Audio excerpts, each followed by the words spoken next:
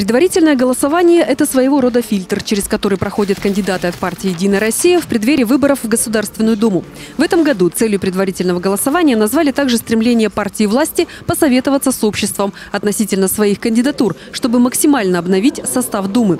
Впервые с 2003 года выборы в Думу снова пройдут по смешанной системе, то есть будут баллотироваться партии, их уже более 70 в списке, и кандидаты-одномандатники.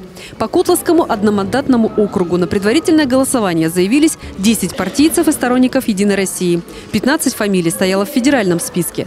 Несмотря на посадочную пару и хорошую погоду, интерес к предварительному голосованию в Котласе был высоким. Бюллетени заполнили более двух с половиной тысяч человек. Это едва ли не самый высокий показатель в регионе. Массовость посещения большая была с 8 до 10 часов и с часу до 2, с 13 до 14. Сейчас немножко спад, но идут люди хорошо, активно, с детьми, с целыми семьями. Нарушение не зарегистрировано.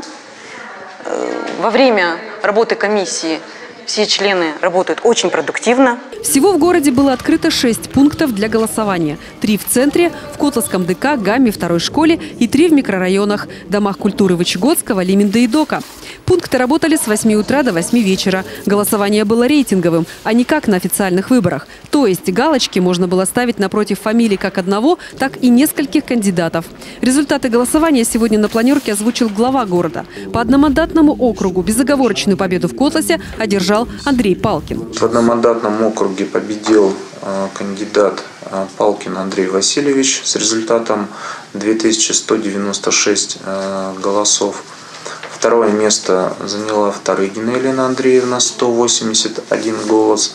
И на третьем месте э, Чесноков Игорь Александрович, 124 голоса. Из 15 фамилий федерального списка, более-менее знакомых широкому кругу политиков, большее количество голосов в Котласе набрал преподаватель САФУ, бывший председатель Архангельской городской думы Дмитрий Юрков.